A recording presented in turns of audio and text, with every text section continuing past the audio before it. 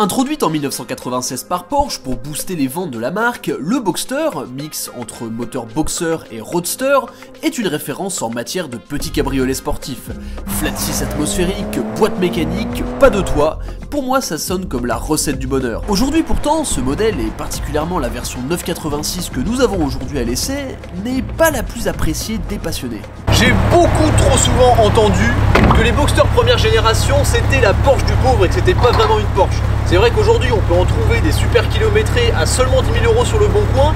Mais aujourd'hui, je vais changer ces clichés, je vais vous faire changer d'avis, je vais vous expliquer pourquoi cette voiture est une vraie Porsche et que c'est justement la meilleure façon de rentrer dans le monde Porsche pour pas très cher et avec un maximum de plaisir.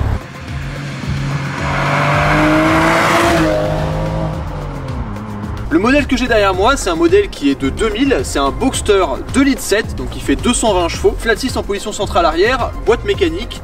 Et si j'ai choisi de vous le présenter aujourd'hui, c'est parce que celui-là en particulier est dans une superbe configuration et surtout dans un état magnifique. Pour la présentation globale, on retiendra sur ce modèle la superbe peinture rouge indien, les jantes optionnelles 18 pouces de la 993 Turbo et bien sûr les fameux phares avant un peu écrasés qui serviront d'ailleurs ensuite à la Porsche 911 996. Alors petit détail que je ne connaissais pas et qui est vraiment sympa, vous le savez sur le Boxster il y a une entrée d'air de chaque côté, en réalité c'est pas une entrée d'air de chaque côté. Ça c'est effectivement une entrée d'air, on peut la reconnaître parce qu'elle est du côté conducteur et là les bords ressortent un peu plus pour canaliser l'air, mais si on passe côté passager, c'est pas une entrée d'air, c'est une sortie d'air puisque l'air chaud ressort du moteur par là, comme ça vous aurez appris quelque chose.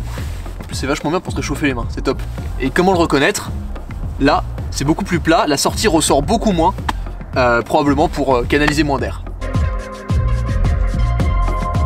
Alors sur la voiture, pour qu'il y ait un peu plus de fun et un look plus sympa, on a quelques petites modifications. Une des plus importantes, un silencieux arrière pour l'échappement. Et les sorties ont été changées, hein. c'est pas l'unique sortie ovale qui pendouille un peu. Là c'est beaucoup plus esthétique. Et un petit détail que j'aime bien, on a un petit aileron.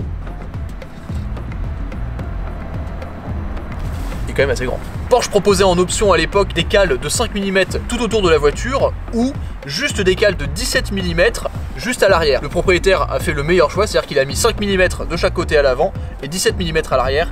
Du coup, ça donne ce profil là qui ressort un petit peu. Ça assis beaucoup plus la voiture, j'adore.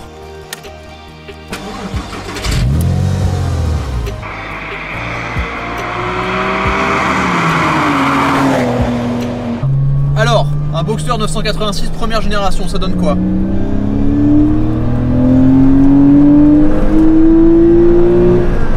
Déjà, ça chante très très bien. Ça fait longtemps que je me suis pas retrouvé dans une Porsche. La dernière que j'ai fait, c'était la 911 991 GT3 Touring, un peu plus extrême, on va dire. Alors du coup, quelles sont les premières impressions au volant de ce Boxster? À l'intérieur, ça paraît pas si exceptionnel que ça, c'est pas euh, spécial, mais il y a quand même des petits indices qui montrent que voilà, c'est un peu particulier. On a toute la carrosserie rouge qui ressort, on voit le bosselage qu'il y a autour des feux qui est caractéristique des Porsche. On entend le moteur qui est juste derrière, juste derrière cette petite paroi là. Deuxième. Alors il n'y a pas énormément de couple, 260 Nm, en même temps c'est un moteur atmosphérique, c'est normal. Et la puissance est vraiment dans les tours, c'est-à-dire que entre 1000 et 4000 tours à peu près, le moteur est assez souple. Mais dès qu'on se met dans la bande de puissance qui est vraiment à partir de 4000, deuxième, une bonne poussée, le son est super.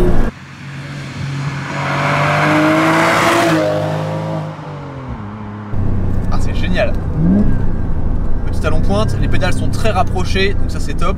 Non honnêtement, dès qu'on rentre dedans, on a quand même la sensation que c'est une Porsche, on a quand même la sensation que c'est spécial. Le seul truc qui est un peu dommage dans cet intérieur, c'est le volant, qui est pas très très joli avec les quatre branches. Et euh, il y a le volant sport qui était en option, euh, avec trois branches, qui est un peu plus joli. Mais bon honnêtement, on va pas chipoter parce que ce qui est important dans cette voiture, c'est le fait d'avoir un cabriolet avec ce moteur. Donc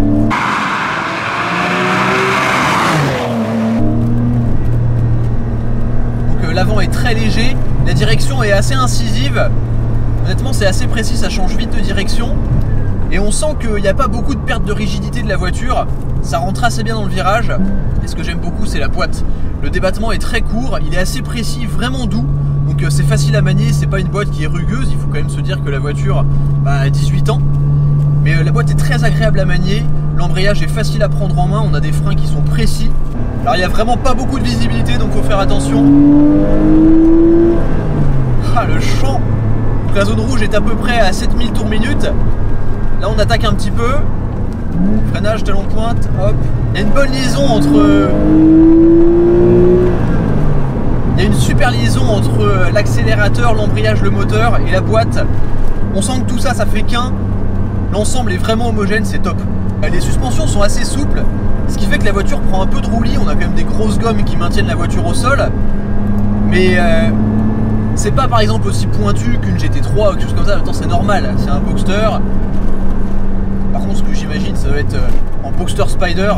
Ça, ça va être génial. Mais honnêtement, pour une voiture qui a 18 ans, c'est des sensations qui sont hyper fun. Les performances sont très abordables. On peut s'amuser sur la route sans aller forcément hyper vite avec. Et ça, on rentre dans le virage.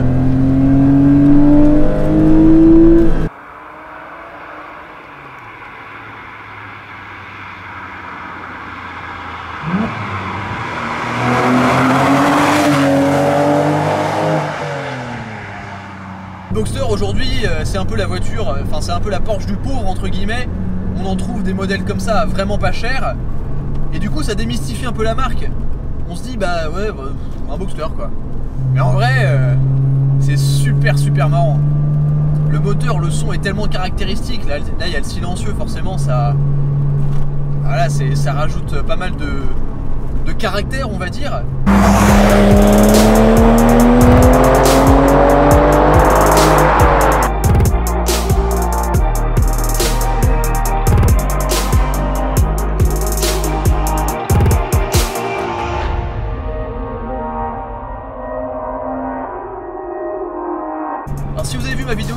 DRS3 que je vous invite à regarder d'ailleurs.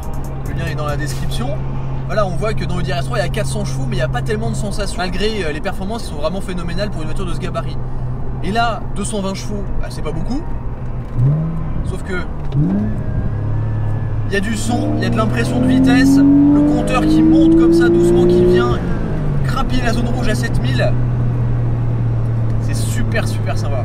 Oubliez ce qu'on vous a dit sur les boxeurs trouver un superbe exemplaire comme celui-là. Celui-là, il est vraiment magnifique. Donc voilà, j'espère que cette vidéo vous a plu. J'espère que vous avez pu euh, bah, comprendre un peu mieux le Boxster. Comprendre un peu mieux pourquoi euh, bah, ça reste une Porsche, ça reste une super voiture. Oui, c'est pas la plus rapide des Porsche, mais c'est quand même super, super marrant. N'hésitez pas à vous abonner à la chaîne YouTube si la vidéo vous a plu, lâchez un gros pouce bleu, dites-moi si vous aimez ce Boxster et euh, voilà, quel est votre Porsche de rêve, tiens. Pour moi, GT3 RS 4 litres. Suivez-moi sur Instagram, on a fait des belles photos. Abonnez-vous à la chaîne YouTube et je vous dis à très très vite sur ce Glove Driver. Ciao